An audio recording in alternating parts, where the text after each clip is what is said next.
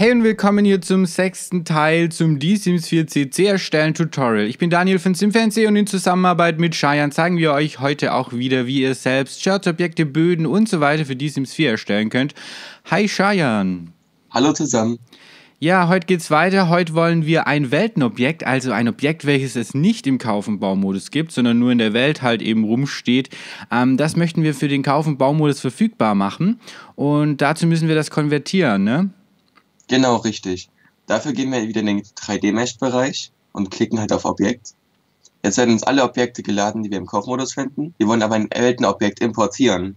Also gehen wir auf Show Debug Items und gehen wir auf Groß.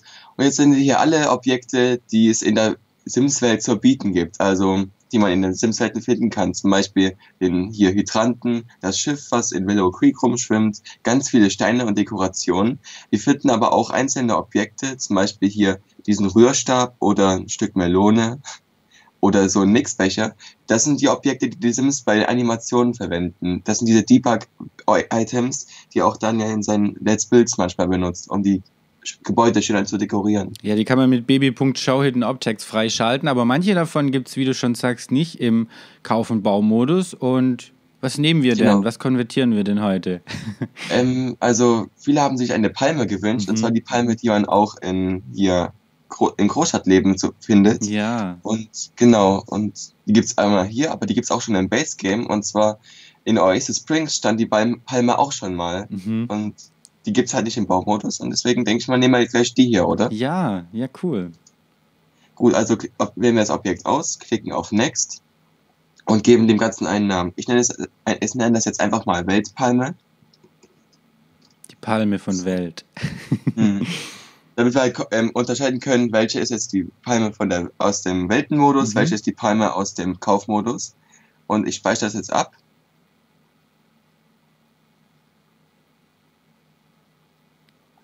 Und jetzt haben wir hier unsere 3D-Ansicht und wir sehen auch schon, komisch, warum ist an den Stellen hier blau? Das liegt daran, weil der ganze Baum aus Platten besteht. Wenn wir jetzt hier in Warehouse gehen und uns das Modell mal anschauen, ohne Textur, dann sehen wir, dass die ganze Palme hier aus Platten besteht. Also die und die Textur mhm. sozusagen nur draufgezogen wurde. Ja. Ist auch mal, das heißt also, ja. Ist auch mal ganz interessant, das zu sehen, ne? Das, äh, wie das funktioniert. Eigentlich sind so Platten und ja, da wo keine, wo keine Blättertextur ist, da wird es dann nachher transparent, aber das Objekt selber ist quasi diese Platten, wie du schon sagst, ne? Genau, richtig, ja. Ja, hier fällt mir auch die Textur übrigens und ganz interessant auch hierbei zu sehen ist, es gibt hier auch wieder diese drei Stufen, wie wir auch schon gestern gesehen haben. Und da sind halt jetzt die ganzen einzelnen Qualitätsstufen. Bloß der Unterschied zwischen Kaufmodus und Weltenobjekt ist, dass hier ähm, die letzte Stufe nur ein Bild ist. Also, wenn man weit genug weggeht, dann sieht man einfach nur, wie ein ganzes Bild eingeblendet wird und kein Modell mehr. Mhm. Das ist sozusagen nur eine Platte und hinten, naja, einfach nur ein Bild. Ja, und das machen die halt deswegen, damit man insgesamt mehr Speicherkapazitäten hat, beziehungsweise dass der Rechner halt schneller läuft. Aber wir plündern uns jetzt erstmal hier die einzelnen Modelle und ich denke, wir nehmen erstmal nur das erste hier. Ja. Das exportieren wir uns, da wir nur das Modell brauchen. Und das nenne ich jetzt einfach mal Weltpalme Modell 1 oder Modell 0 in dem Fall, weil es halt high, also hochqualitativ ist. Das speichern wir ab. Und wenn es exportiert ist, holen wir uns noch schnell die Textur. Und genau, die ist halt auch so hier aufgebaut. Also man sieht hier, es wurde hier insgesamt viel kopiert. Es gibt nur einmal diese Palme, das heißt, die wird an vielen Stellen mehrfach benutzt. Und ja, die nenne ich jetzt einfach mal Texturweltpalme. Mhm, die speichern sich da, äh, die, die sparen sich da Speicherplatz, indem sie einfach so ein Palmblatt dann ne, nur eine Ecke machen und dann eben viermal wiederholen. Richtig, genau. Im Kreis dann, ja. So, jetzt haben wir uns, uns alles zurechtgeklaut. Also einmal die Palme als Modell und einmal hier die Palme ähm, als ähm, Textur. Und jetzt können wir eigentlich diese Datei schließen, diese brauchen wir nicht mehr und wir suchen uns ein, ein neues Objekt, was sozusagen dieses Ganze ersetzt. Also gehen wir jetzt wieder in den Create 3D Mesh Bereich und wählen uns ein Objekt, was es im Kaufmodus gibt. Und da gibt es da so eine ähnliche Palme schon mal. Also gehe ich hier einfach auf den Filter raus und jetzt sind wir hier im normalen Kaufmenü-Bereich wieder. Mhm. Und ich denke, da ist doch die ganz passend hier. Ja, die ist ganz gut, ja. Die können wir auf jeden Fall nehmen. Ist immer ganz gut, auch wenn man Objekte nimmt, die ähnlich sind, ähm, wie das Objekt, das man erstellen möchte. Dann hat man gleich auch schon die richtigen Kategorien und ja, die verhält sich dann auch gleich, ne? Und so. Das ist dann unsere Kaufmodus-Palme, nennst du die hier. Ja, man kann es ja immerhin noch später wieder umbenennen, Mhm. wenn es einem jetzt nicht gefallen sollte. Also wir wollen jetzt das Modell von der Weltenpalme ähm, mit der Vorlage von dieser Kaufmoduspalme ähm, in diese Kaufmoduspalme wollen wir das Modell reinpacken von unserer neuen Palme, von unserer Weltenpalme und dann das neu abspeichern. Das ist so der Plan, so mal grob. Genau, richtig. Also hier ähm, gehen wir jetzt wieder auf Meshes und sehen auch hier gibt es einige Stufen mehr.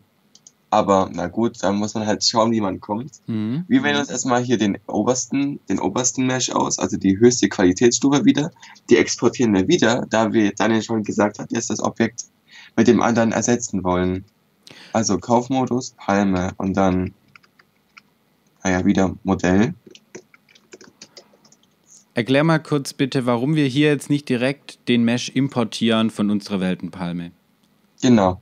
Also das liegt daran, ähm, wie wir schon letztes Mal gesehen haben, bestehen die meisten, haben die meisten Objekte so eine Plane drunter. Bei Pflanzen und anderen Dekorationen ist das in dem Fall nicht so. Äh, Eine richtige Erklärung gibt es dafür eigentlich nicht. Aber ähm, das hat halt damit zu tun, im Weltenmodus gibt es kein Gitter, also wonach sich das, ähm, wonach sich die Entwickler richten müssen. Die, man muss, kann sich das so vorstellen, die Entwickler haben die ganze Zeit die Alt-Taste gedrückt und können die Sachen ohne irgendwelche Gitter zu befolgen einfach platzieren. Wir im Kaufmodus sind aber ein bisschen eingeschränkter. Das heißt, wir müssen uns in erster Linie an die Gitter halten. Deswegen ähm, gibt es, deswegen müssen wir uns ein Objekt nehmen, was sozusagen diese, dieser Gitterregeln befolgt. Und deswegen müssen wir es quasi erstmal mit Blender öffnen Genau. und dort die Und dann- Textur. genau, das machen wir jetzt. Dann genau ersetzen. So, jetzt sind wir hier in unserem Dateiordner und wir suchen uns die ähm, Kaufmodus-Palme, weil wir, weil wir ja die beibehalten, also Mhm. wir behalten den Namen bei, aber wir ersetzen jetzt den ganzen Mesh. Hier wurden alle ähm, Regeln beibehalten, also hier ist auch der Rig, der dann zeigt, du bist hier in der Mitte und du musst dich nach den Gitter richten und so. Und jetzt gehen wir hier in File und wollen ja die andere, den anderen Baum mit einfügen. Also gehen wir auf File und dann auf ähm, Append und jetzt haben wir hier unsere Dateien und ich suche hier nach unserem CC-Tutorial-Ordner und Nochmal eins hoch, oder? Ach so, hier war es ja, genau, stimmt. Also die Weltpalme-Modell, das suchen wir uns raus. Jetzt genau hingucken. Wir haben jetzt hier, jetzt fragt uns Blender, welche Datei brauchst du denn jetzt aus diesem Mesh-Ordner? Und wir gehen hier bei Objekt rein und dann müssen wir uns die einzelnen ähm, Meshes angucken. Das sind hier die Lampen, das ist der Punkt, der uns zeigt, wo sich das Objekt, wo das Objekt ausgerichtet wird. Und hier unten sind die Meshes. Ich suche mir jetzt mal das, das untere aus, weil das auch wie bei unserem Objekt hier an der gleichen Stelle ist. Also haben wir jetzt uns hier den Ast rausgeholt, Den Stamm, ja. Mhm. genau den Stamm hiervon. Und jetzt holen wir uns noch die Blätter, also machen wir das gleiche Spiel nochmal, also File und dann Append. Und holen uns jetzt noch Studio Mesh 1 rein. Also das Objekt, das Objekt Weltenpalme besteht aus zwei Meshes. Das Objekt besteht aus zwei Meshes, einmal dem, dem Blätterkopf quasi und einmal dem Stamm. Genau. Mhm. Jetzt sieht das hier ein bisschen sehr durchgewühlt aus. Das ist aber kein Problem. Das können wir gleich unter Kontrolle bekommen. Also schieben wir jetzt, ein, also schieben jetzt einfach das Originalmodell, also die Kaufmoduspalme, die hier orange markiert ist, die schieben wir jetzt einfach mal ein bisschen beiseite. Schauen wir, wo sie ist. Hier. Genau. Den, den Stamm markieren wir jetzt einfach. Das habe ich mit Rechtsklick gemacht und schiebe den ein bisschen beiseite. Das gleiche mache ich auch mit den Blättern. Das müsste hier Studio Mesh. Nee. Das ist Studio Mesh 0. Also ich habe wieder mit Rechtsklick ausgewählt und schiebe das auch wieder ein bisschen beiseite. So. Und jetzt wählen, und jetzt verbinden wir die Objekte miteinander, sodass ähm, wieder nur zwei Ebenen vorhanden sind. Dass die alten Blätter mit den neuen Blättern quasi verbunden werden zu einem Mesh. Genau. Und am Ende können wir dann das, was wir nicht wollen, wieder rausschneiden, so wie wir es gestern gesehen haben. Also, jetzt suche ich mir die Blätter aus. Also ich muss erstmal die Blätter miteinander kombinieren und dann die Stämme miteinander. Also das wäre jetzt hier das Blatt Nummer 1, also Blatt Du- Studio Mesh 0 und hier haben wir den Studio Mesh ähm, 1001. Wir wollen jetzt aber das Ganze in Studio Mesh 0 verwandeln. Also markieren wir jetzt Studio Mesh also markieren wir das Studio Mesh 0, das, da wird das markiert, klicken mit Shift auf Studio Mesh 1.001. Jetzt sind hier beide markiert und wir wollen die verbinden. Dafür gehen wir hier unten auf Objekt oder Object halt und klicken auf Join. Jetzt hat es nicht ganz geklappt. Wir, wollten, wir wollen hier den Punkt 0 haben, also machen wir es nochmal rückgängig und probieren es andersrum aus. Also klicken wir jetzt nochmal hier an und dann oben. Wieder mit Shift-Klick, ist wieder beide markiert. Probieren das Ganze nochmal. Wieder mit Join. Und es hat geklappt. Also jetzt ist hier der Punkt 0. Also das Ganze wird jetzt unter Studio Mesh 0 erkannt. Ja. Jetzt, wenn ich jetzt hier aus- und einblende, sehen wir, dass beide miteinander verbunden sind. Und so müssen wir das machen, so müssen wir das machen, auch mit dem Stamm, aber ähm, das muss nachher auch der Original, also das, die Originalebene muss nachher die neuen Palmblätter beinhalten. Also wir, wir haben am Anfang äh, S4 Studio Mesh 0 und müssen am Ende auch S4 Studio Mesh 0 dann wieder haben. Genau, richtig. Sonst kommt das im Spiel nicht klar oder es wählt sich nochmal den alten Baum raus und ja, da gibt es viele Komplikationen, das wäre halt doof. Das gleiche machen wir jetzt nochmal, also die beiden Stämme hier, wieder mit Shift-Klick auf das andere Objekt und dann klicken wir wieder auf Objekt und Join. Und jetzt hat es diesmal sofort geklappt, also jetzt wird das wieder als Studio Mesh 1 erkannt. Wenn wir jetzt wieder ausblenden, sehen wir einmal, die Stämme sind miteinander verbunden und die Blätter. So, und das Einfachste, was wir jetzt noch machen müssen, ist einfach das, was wir nicht haben wollen, das wäre in dem Fall das Orange hier, einfach rausschneiden. Jetzt sind wir hier im Studio Mesh 1 Bereich. Also gehen wir jetzt hier vom Objektmodus in den Edit-Modus. Und wir sehen jetzt hier sind die, sind die Stämme markiert. Ich drücke die Tasten A und B, habe das Fadenkreuz hier, wähle aus und alles wurde markiert. Ich drücke auf die Taste X und es wird gefragt, was ich löschen möchte. Möchte ich die Kanten, möchte ich die Flächen oder möchte ich die gesamten Punkte löschen? Und ich sage, wir wählen am besten die gesamten Punkte aus. Und wir sehen, oh, schau, es wurde nur ein bisschen gelöscht. Mhm. Warum wurde ein bisschen gelöscht? Weil ähm, die eins, weil die Vor die Objekte, die also die Flächen, die im Vordergrund stehen, haben den Rest hinten blockiert. Das ist eine wichtige Sache, die viele falsch machen. Deswegen gehen wir nochmal zurück und wählen den Wireframe-Modus. Also hier wieder dieses Drahtgitter-Modell. Damit können wir gleich alles auswählen. Dadurch ist, also, das, dadurch ist der Mesh durchsichtig und äh, wenn man jetzt markiert, markiert es alles, genau. Genau, richtig. Also machen wir das Ganze jetzt nochmal. Wir wählen das hier aus, klicken auf X, Delete Vertices, alle Punkte und es ist ganz weg.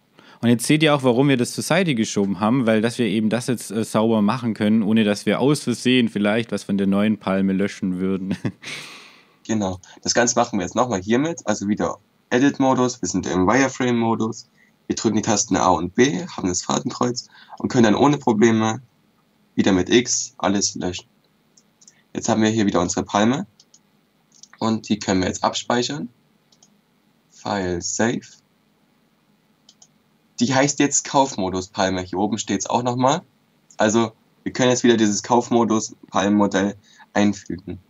Jetzt gehen wir hier wieder in Studio rein, importieren das Mesh, Kaufmodus Palme Blend, also die Blender-Datei davon, öffnen die und es hat funktioniert. Wir sehen, der Mesh wurde übernommen, aber wir sehen auch gleich, cool, die, ähm, da wurde einfach die Textur von der vorherigen Palme einfach mit übernommen. Das heißt, die Struktur ist da fast gleich gewesen. Mhm. Wir könnten jetzt aus Spaß noch einen weiteren Swatch hinzufügen, weil das hier ganz gut klappt. Da können wir uns noch die Farbe vom Original holen, also aus dem Weltenmodus-Objekt. Und das wäre die hier. Und zufälligerweise passen die jetzt ganz gut zusammen. Wir sehen, da mhm. wurde, die, wurde das Texturgitter gleich verwendet. Also wahrscheinlich hat das ein und dieselbe Person gemacht. Und deswegen sind, sieht man auch hier, wurde das gleichmäßig aufgeteilt. Deswegen kann man lustigerweise beide Texturen dafür verwenden. Das passt aufeinander. Ja, cool. Hm. Wollen wir es gleich so lassen oder wollen wir die andere nochmal rausmachen? Nö, lassen wir das doch so, oder? Ja. Ja, können wir machen. So, jetzt brauchen wir noch Farbcodes, aber ja, genau. Also das eine machen wir einfach mal orange, dafür gucken wir mal ein bisschen hier nach. Wir könnten natürlich auch wieder in den Bildbearbeitungsprogramm gehen und dort nach der genauen Farbe suchen, indem wir den Farbcode, indem wir markieren und den Farbcode eingeben. Mhm, haben wir ja schon mal gezeigt. Mhm, genau. Aber jetzt probiere ich mich einfach hier mal ein bisschen. Ja, also das sind nachher die kleinen Vorschaubildchen. Wenn ihr die Farbe ändert vom Objekt, ähm, dann ähm, ja, kommt, kommt das als Vorschaubildchen, ne? Genau, richtig, ja. So, jetzt haben wir hier einmal orange und einmal grau. Mhm. Jetzt könnten wir hier noch, also wer dann noch die Lust dazu hat, könnten wir hier noch die ganzen einzelnen ähm, Meshes mit einfügen. Das machen wir auch mal schnell hier. In dem Fall müsste man eigentlich die einzelnen Qualitätsstufen wieder ein- und müssen wir wieder importieren und wieder bearbeiten und exportieren. Das gleiche Spiel, was wir eben schon gemacht haben, eben mit jeder Qualitätsstufe. Ja. Mit jeder einzelnen Qualitätsstufe, genau. Wir machen es jetzt einfach mal nur, damit es einigermaßen vollständig ist. Mhm, wir zeigen es ja nur. Wir machen jetzt ja nicht dreimal das gleiche, das wäre ja auch langweilig. Genau. Und so weiter. Ja, und in dem Fall, wo halt hier ist das Bild angezeigt wird, Brauchen wir es nicht. da brauchen wir es eigentlich Weil nicht es auf machen. der Textur drauf ist, genau. Genau, richtig. Da haben wir halt gesehen, oh, sieh mal an, der Kaufmodus ist, im Kaufmodus gibt es auch dieses Prinzip mit dem Bild übernehmen. Und da, deswegen kann man es gleich so lassen, weil hier sieht man es ja auch. Da wird einfach nur das Bild kopiert. Das trifft aber im Kaufmodus nie zu, weil Kaufmodusobjekte werden nie zu einer, zu einem, zu einer Fläche, ne? Genau, richtig, ja. Ja. So, und damit hätten wir es ja. Wir könnten jetzt noch die Beschreibung be- ähm, verändern. Die haben jetzt schon mal was vorbereitet Ja, hier. wir haben was vorbereitet. Die Palme von Welt. Genau, das können wir jetzt einfach mit Steuerung und C kopieren und dann hier einfügen. Mit Steuerung und V. Und jetzt habe ich hier noch eine Beschreibung.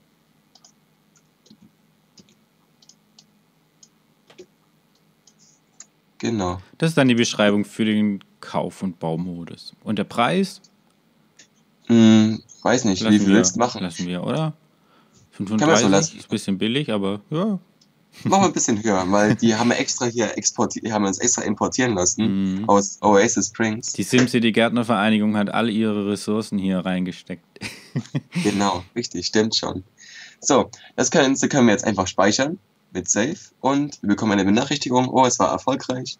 Mhm. Jetzt können wir es bestätigen und können wieder zurückgehen in unseren Datei-Explorer. Und jetzt suchen wir uns unsere, Palm, äh, suchen wir uns unsere Datei. Das war hier die Package-Datei. Hier werden manchmal von Blender noch Zwischendateien gespeichert. Das können wir aber einfach ignorieren, weil immer die die aktuellste und wichtigste ist. Wir haben sie unter Kaufmodus Palme abgespeichert. Das können wir jetzt nochmal umbenennen, wenn wir wollen. In die Palme von Welt. die, Pa- Ja, genau. die Palme auf der Welt ist jetzt auch im Kauf- und Baumodus verfügbar. Wenn alles geklappt hat. Wir müssen ja nochmal ins Spiel reingucken dann auch. Mhm. Die Palme von Welt. Genau, das ist die hier abgespeichert. Und jetzt können wir sie einfach wieder mit Rechtsklick kopieren. Gehen wir in den Ordner Electronic Arts. Hier sind es vier Mods. Mit Rechtsklick fügen wir das Ganze ein. Und jetzt können wir im Spiel nachschauen, ob es funktioniert hat. Yay. So, jetzt sind wir im Kaufmodus und wir können jetzt gleich mal gucken. Das haben wir hier unter Gartenpflanzen. Das müssen wir ja bestimmt unter Gartenpflanzen finden. Ja. Und da ist es ja schon. Cool. Die Palme von Welt. Genau. wir können das einfach auswählen und dann platzieren. Und wir haben auch schon, wie man sieht, hier die zwei Farboptionen, die wir vor uns ausgewählt haben. Cool. Da können wir uns jetzt hier beide platzieren. Genau. Die kann man auch bestimmt wieder vergrößern. Klappt auch. Ja, cool. Gut. Dann haben wir es doch. Sehr schön. Ja. Das Weltenobjekt ist jetzt im Kauf- und Baumodus verfügbar. Und man kann es auch hier in der Videobeschreibung runterladen. Ja, das stellen wir wieder zur Verfügung. Auch wenn ihr das haben wollt für euer Spiel, könnt ihr euch das herunterladen. Ähm, ja, damit sind wir am Ende. Vielen lieben Dank euch fürs Zuschauen. Ich hoffe, euch hat es was gebracht. Ihr habt da auch wieder vielleicht so ein paar Ideen dann. Und wenn ihr die habt, gerne, gerne kommentieren, gerne schreiben. Hier bei YouTube oder bei Twitter, Instagram und Co. Die Links zu uns findet ihr in der Videobeschreibung. Wie auch alle anderen Infos, was ihr dazu braucht, was ihr benötigt. Und ja, Vielen Dank fürs Zuschauen. ja, bis zum nächsten Mal. Ciao. Tschüss.